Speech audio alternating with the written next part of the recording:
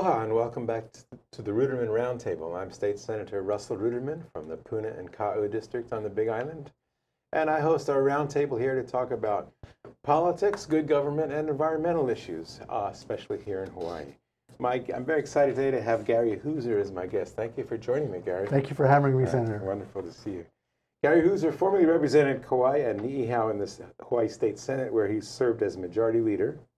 Also served for eight years on the Kauai County Council and as director of the Environmental Quality Control Office in the state of Hawaii. He presently serves in a volunteer capacity as board president of the Hawaii Alliance for Progressive Action, or HAPA, a 501c3 nonprofit focusing on education and advocacy. Thanks for being here, Gary. Thanks for having me. I'm Barry. I've been following the work that you've been doing for many years, and I'm very, very inspired by it. I really appreciate it. So I know one of the main things you've been working on the last few years is the Hawaii Alliance for Progression Action, for Progressive Action, or HAPA. Tell me about HAPA. You know, for, for years, I, I've been thinking that, that we need here in the state of Hawaii uh, an overarching group to represent progressive issues. See, there's silos, there's uh, uh, environmental groups, there's gay rights groups, there's economic justice groups, but there isn't uh, an umbrella kind of group, overarching, even though I don't like to use the word umbrella. Uh, and so uh, a couple years ago, talking Oh, with wait, friends. what's wrong with umbrella? Does well, because it, it, it, it doesn't have the focus okay. that a dedicated group might have. I thought maybe I was missing a political no, no, correct. no, no. Um. The, uh, but as it turns out, uh, we, we serve kind of an umbrella function. Mhm. It's more of a networking thing. So we, we will try to get the Sierra Club, Appleseed, uh, Surfrider, uh, FACE, and, and various other organizations, labor unions, to get, get in the same room and say, what do we have in common? How do we work together? Uh, and, and economic justice issues is emerging as one of the focuses. We deal with environmental issues, economic justice issues, uh, food security, uh, food justice issues, and uh, other, other kinds of things like that. Uh, Mm. Now, how did it come to be? What, what brought it into being? Well, it was uh, it was my idea that I was sharing with with various friends over a couple of years actually, and then uh, as my work on the Kauai County Council kind of moved forward, I realized it was something it was more than I wanted to do on a statewide basis, and I give my, my daughter credit for it. My daughter Kelly Rosa, who, who you know worked at the Yeah, Capitol, uh-huh. she told me, Dad, she said, Dad, you got to either pull the trigger or stop talking about it. It's going to eat you up.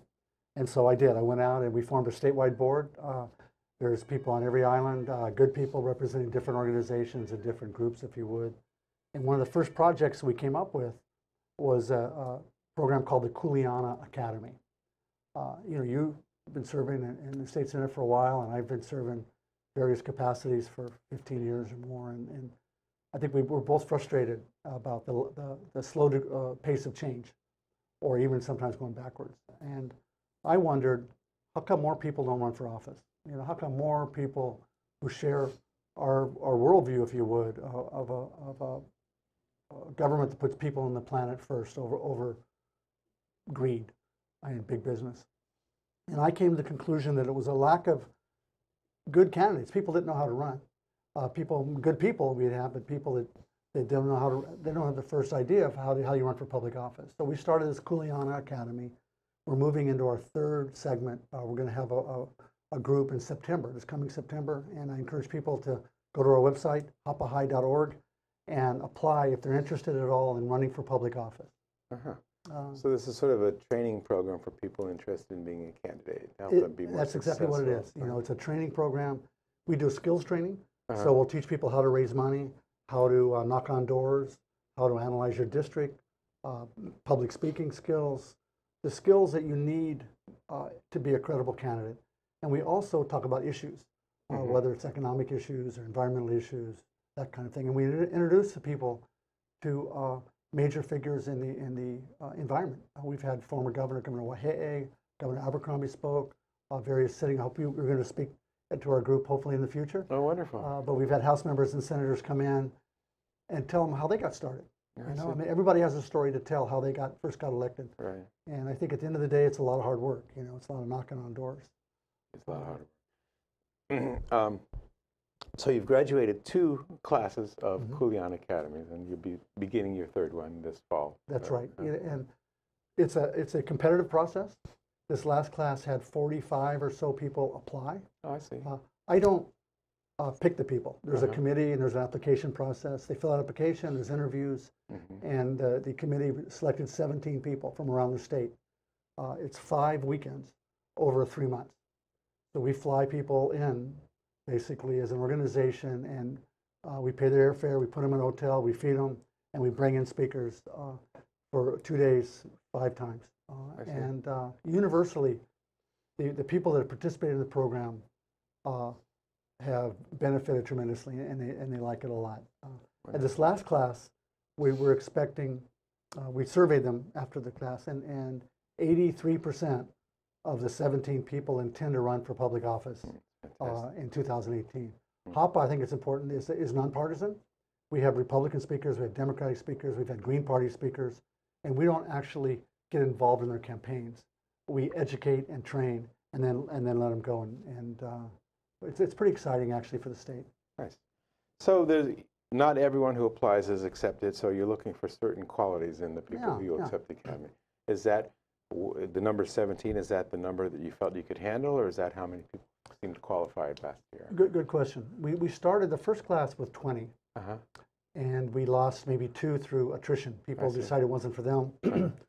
uh, and in the second class, we started doing some more research and realized that 15 actually is the ideal number. 15 in a class, everyone gets to participate better. You know, as, you know in politics, if you give everybody a three-minute speech and you get 10 people, it's, it's just for 15, it just adds up. Yeah. So we were targeting 15 Okay. uh, enrolled 17, Mhm. expecting some to drop out, but, but none of them dropped out. And, and it's uh, women, it's all uh, ethnic and geographic areas. Uh, we're, we're, we're looking for people who, in general, again, share our worldview uh, of progressive politics, people who uh, are environmentally sensitive, who, who care about uh, taking care of, of people and believe in, in raising the minimum wage to $15 an hour, for example, and those kinds of things. That's our, our target uh, audience. Uh, and there's, there's a lot of talk about the young emerging leader, and, and in a sense, we're looking for that, but also there's no age requirement. Mhm. We have people in the program uh, 50 and 60 years old, I believe. So, are there certain particular qual besides wanting to run for public office? What qualities, uh, or what characteristics would would qualify someone? What do you look for? What do you consider essential? In, I in think it's, if, if you look at what makes a good candidate, uh-huh. you know, it's not someone who just got off the plane yesterday. Yeah. You know, it's, they have to be familiar with uh, Hawaii, either either born here or lived here a significant amount of time. So they're familiar with the culture, they're familiar with the environment that they're uh, where they live. Uh, So essentially, like people who are vi- could be a viable yeah, yeah, yeah. Right? Ideally, the person would be involved in other organizations. They've sit on the Chamber of Commerce or the Farm Bureau or uh, you know Rotary clubs or any number, of Hawaiian Canoe clubs, civic clubs. Mhm. Uh, so they're involved in the community already. Mhm. they have maybe run for office before Mhm. and they didn't know how. So, some things like like raising money, it's really hard, and It people are hard. intimidated by that. And so we bring in a professional fundraiser who teaches them, you got to ask, guys. That's. You know, and, and she actually uh, has the class write a script right then and there, Huh. and then sends them off in the corner and says, okay, start calling people. You And know? that is one of the hardest Yeah. things, isn't it? Just to ask for help or ask for money, or whatever you Yeah, need. but you have to believe in yourself, Yeah. and you have to believe in your mission. So, so they and they they do it, and it's hard, but it's a it's a, a good training exercise. What are some of the um, initiatives, or you mentioned a few of the areas of involvement, economic Mm-hmm. justice, environmental, the, that's the kind of things that you, you're educating them on in terms of subject matter Right. along the way? or- you know, some things, people will come in, uh, for example, uh, without being exposed, some of the younger participants, without being exposed to the uh, education, if you would, on some of the issues. Mhm. Uh, you would uh, talk about uh, uh, uh, death, uh, death with dignity, or uh, the, uh, you know, killing bad guys, you know, uh, uh, the death penalty. Mhm. And, and so we don't, you know, people are entitled to whatever they, they believe, and we don't, you know, penalize people for believing a certain way, but we try to point out, let's say with the death penalty, the, the disproportionate impact on people of color Mhm. or people in poverty, and, and the number of falsely convicted people, and the, the cost. So they understand that, yes, maybe there's bad guys that, we, that deserve to die, maybe not, depending on your, your, your fundamental faith, I guess. Mhm. Uh, but there's other factors, you know, that you can be opposed to the death penalty because of these other factors. Same with uh, a woman's right to choose. Mhm. You know, you could be against abortion, but support a woman's right to choose. Right. You know, so we try to uh, talk to people about the issues to show them there's different ways to look at the issue. Because as a first-time candidate, a lot of people come to politics with a few areas of interest, and then you get asked questions about all the other areas. So, so you're you're getting them up to speed to answer all that wide range of questions and issues. we, we you have to try, you know. Uh, one of the biggest lessons, uh, and, and I just learned this lesson from the class. We ask everyone first class, why are you why are you thinking about running for office? Mhm. And they put, they proceed to what issue and what issues are important to you. So they proceed to tell us their silo, Mhm. and we teach them. You have to know what your district is important. Mhm. So you might, environment might be your issue, but your district might be education or might be crime. Mm. And so to get elected, you have to know and understand what your district wants. You don't let go of your passion, but you really have to know about your district in terms of, so when you're messaging and when you're out talking to people, you have to understand that, that education is the number one thing and I'm going to fight for education. At the same time, you're going to fight for the environment too. And that's so important because the voters want to see someone who appears to be well-rounded and not fo- not focused on, like you say, one silo type issue. Right. They want to know someone who's open-minded and concerned with the community's Right. concerns, not just their own pet peeves. Abs- Right, Absolutely. yeah. And many people come in out of a silo. It Mm-hmm. could be uh, environment or GMOs or, or uh, Hawaiian issues, for example. And then you realize that a majority of the community isn't in that group necessarily. Mm. And it has to be about making the community a better place, making the, the state and, and the island and, and the world, not just what you want. Mhm. Good point. What's the 343 initiative? 343 initiative is um, Chapter 343, HRS, it's a Hawaii state law, Yeah. is the uh, Hawaii Environmental Protection Act, HEPA. Oh, okay. So the federal act is NEPA, the National Environmental Protection Act. The state has its own EIS law. That's in general what it is. It's the EIS law. Uh, serving uh, in the Abercrombie administration as director of the Office of Environmental Quality Control, that is the, the law that that office administers. And so we're, HAPA, and I'll tell you about this in a little bit later in more detail, is pursuing some action against uh, the state and Syngenta uh, for not complying with that law. I see. So it's about w- w- doing environmental impact statements Yeah, when they're yeah. required and Yeah, and exactly, sticking to the law. exactly. Well, thank you. It's so interesting. I'm here with Gary Hooser on the Ruderman Roundtable, and we'll be back after a short break. Thank you for joining us. Aloha, I'm Richard Concepcion, the host of Hispanic Hawaii. You can watch my show every other Tuesday at 2 p.m. We will bring you entertainment, educational, and also we tell you what is happening right here within our community. Think Tech Hawaii. Aloha. Living in this crazy world, so caught up in the confusion, nothing is making sense for me and you. Maybe we can find a way. There's got to be solution. How to make a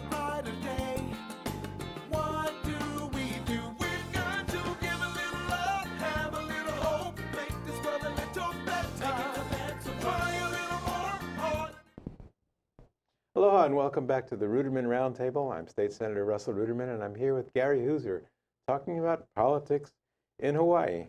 Gary Hooser started the Hawaii Academy for Alliance for Progressive Action, or HAPA, and one of their projects is the Kuleana Academy, which uh, cultivates and trains uh, political candidates. So, look, looking at the bigger picture a little bit, Gary, uh, what made you what do you think we're going to accomplish with HAPA and the Kuleana Academy? I mean, what, what, what's the impact you're hoping to have on Hawaii politics? Yeah.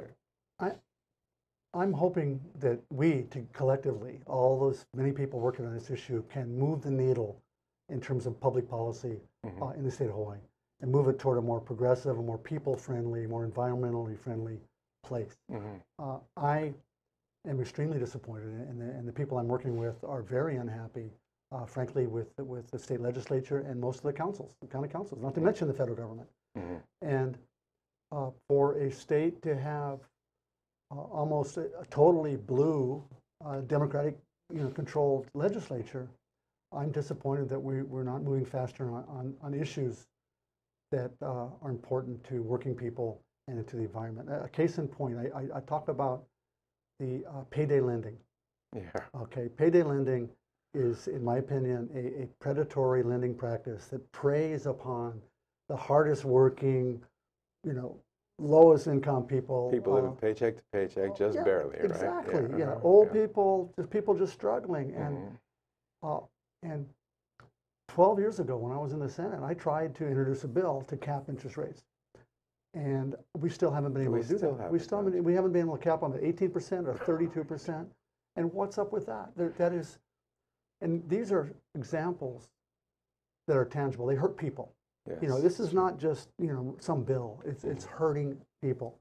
Uh, and so there's examples like that that uh, I'm uh, frustrated personally and uh, losing patience with the, with this rate of change and, and want to accelerate that change. And I think if we can collectively, we, the people around the state who share the, the dissatisfaction of the pace of change, if, if we can work together and focus our energy on getting these uh, new leaders into office, we could change the discussion, change the conversation, and therefore change the policy that comes out of the state legislature and the county councils. That's my hope.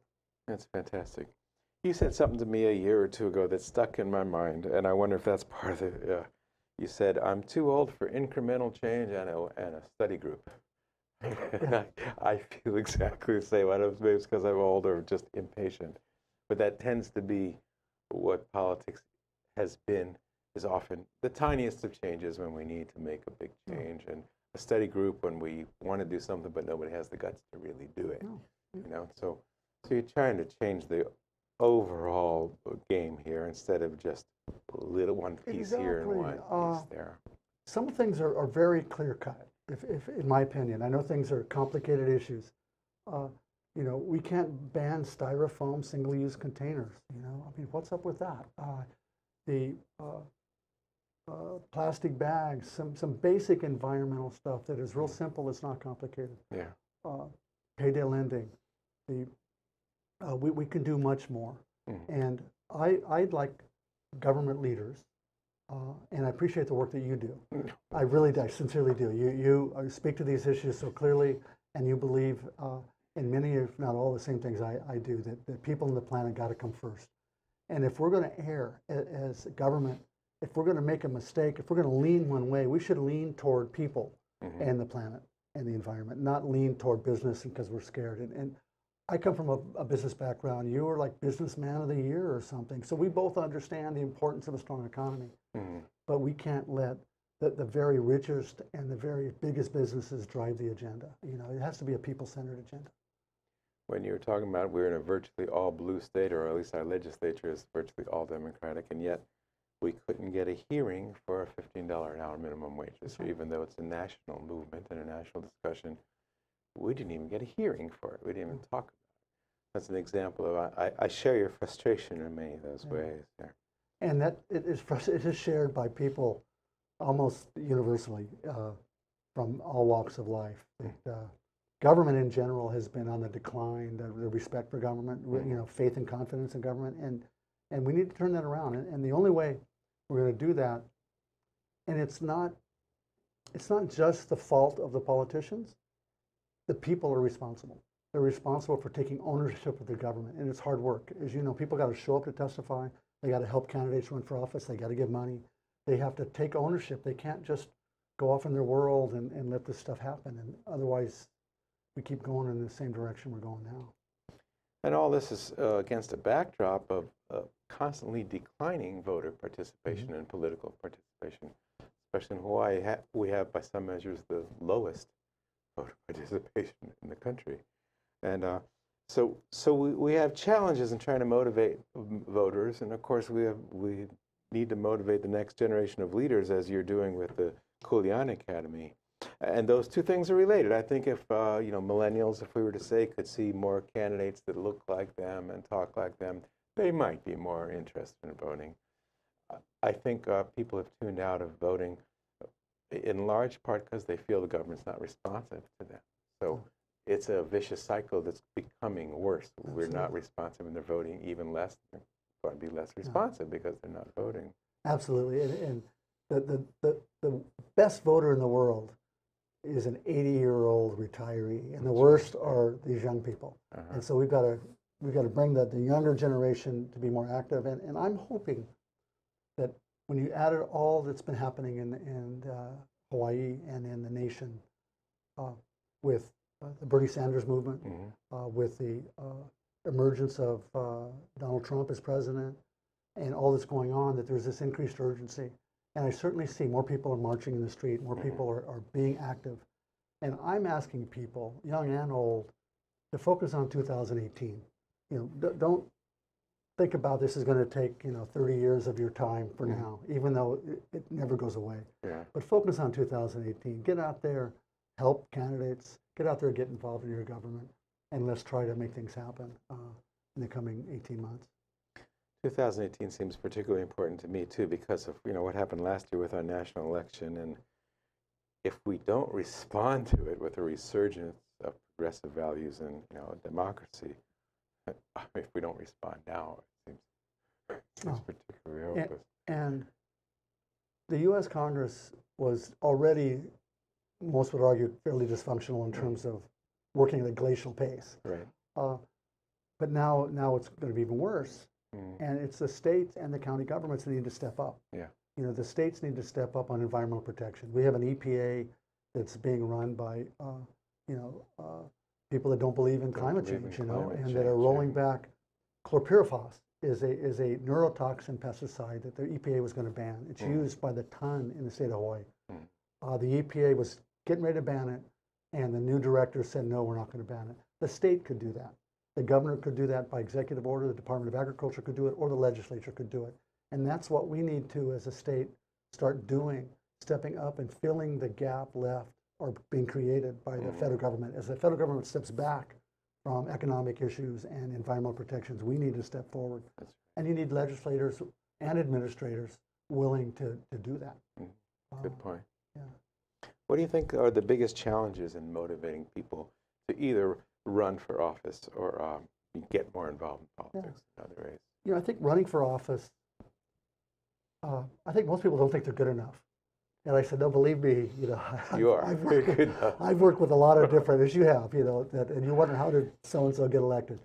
So, so number one, they're good enough. Yeah. Uh, and they, they're afraid, as a, they, they're a public figure, and, and they're afraid what that means. Mm. And I basically say, unless you're running for governor or mayor or something, I wouldn't worry about it too much. If you made some uh, some youthful indiscretions, as they would, you know, uh, Experimented in college. for yeah, like both all the recent presidents have, uh, and the money. The money is huge. Uh, you know, the uh, on the Kauai, Kauai County Council, I think most council and house races, we're talking thirty to fifty thousand dollars. Mm. And most people think there's no way I can raise thirty or fifty thousand dollars, and it's hard. But if you if you're willing to do the work, Mhm. and you are a credible candidate and you put your name out there, I think that people will come to you and want to help you, whether it's uh, places like the Sierra Club or uh, labor unions or, or others who uh, want to see uh, new blood coming in. They can help with with money too. And our Mm. program teaches people how to raise money. Uh, you know, you might you have to make calls. You got to be willing to, to make that call. Uh, but so that, so it's money is, is a big roadblock. So money that you have to raise, fear of being a, suddenly a public figure, and also thinking that you're just not good enough. Yeah, and most people aren't used to speaking on stage, Yeah, and that takes a little work, you know. I mean, it, uh, I, I still get nervous when I talk on stage, you know. Uh, so it takes practice, and we do we give that in, in the Kuleana Academy. Uh, it's practice is what it takes. There's yeah. no one's born a good public Oh, speaker. you have to just practice. it does, and practice. and uh, you know, I, we we teach never turn down an opportunity to speak. Mm. You know, someone someone says, "We do the blessing? Will Oh, you give a toast? Will you introduce so and so?" You always say yes. That's, Oh, I that's one of gone. lessons. I should have gone to this school before Yeah, no, it's- started. uh, we, we tried because we have the people teaching the class are people that have actually done it. The people that worked in the trenches. right. Uh, you know, people that actually knocking on doors. How can someone apply to be part of the Kuleana Academy? Uh, right now, the next program starts in September, September. and it requires five weekends. Mhm. Uh, so sometimes that's a challenge for uh, people. You know Mhm. that uh, if you live on the neighbor islands, you, we fly you over. Um, And so you would go to our website, hapahigh.org. HapaHI.org. Yeah, Okay, great. H-A-P-A-H-I dot O-R-G. And look, look for the Kuleana Acad- Academy I link. see, okay, And there's an application. all right. And then that, I th- I believe it will have the dates that we're tentatively planning right now. So people can go to that, fill out the application, encourage them to, to, to do it. I think the deadline is the end of July. It's a good time to be thinking about it. Yeah, yeah, and uh, again, universally, the, all the participants, I think if you, if you polled them today, they would think that this was a great experience for Yeah. them. They've learned a lot. I know one or two of them, and I know they do feel that way. Yeah. And tell me, for people who don't necessarily want to run for office but want to get more involved politically, is HAPA a good organization to join in that regard? Absolutely, and the Kuleana Academy also, we've generated a fair amount of uh, campaign managers. Uh-huh. Uh, there are people that have met at the Kuleana Academy. One run for office, the other Oh, one said, "I'll be your manager." Uh, so it's so the so the Kuleana Academy. You may not want to run this time, but you want to be involved in the process. I encourage you to apply. HAPA, uh, in general, is uh, we're not uh, we don't support candidates, but if you want to get involved in the, in the, a movement to change uh, what's going on in Hawaii, yes, sign up on, on our email list on hapahi.org. They can go to hapahi.org and sign up, and without wanting to be a candidate or going to the academy, they can stay in touch, and you get updates of things you're doing, Exactly. find ways they can get involved and be more yeah. involved. And we're a statewide organization. We're on, I, I live on Kauai Mhm. and fly around, travel a lot. Um, I'm, uh, but we have board members and we have members, uh, people who are supporters on every island. on each island. Yeah, yeah. And we, we're, we're doing other programs in, in addition to the Kuleana Academy. Uh, we had the People's Congress uh, last year. We brought in groups uh, from all over the state representing uh, whether it's Hawaiian issues, or environmental issues, or economic justice issues, and did uh, workshops and raised awareness and recruited other emerging leaders. Okay. Well, we'll have to have you back to talk about some of those other things, Gary. But I do want to say, you know, thank you for coming. And I think that what you're doing with HAPA and the Kuleana Academy is the most important thing happening in our state politically mm. because this, this tiny little bit of trying to fix one thing at a time and everybody on their own hasn't worked. And you're, you're working on a systematic program to make real progress. And I, I admire it greatly and I support it a thousand percent. And Thank you so much. Thank you very much for coming to be a guest on Ruderman Roundtable. I'm here with Gary Hooser, and we'll see you again in a couple of weeks.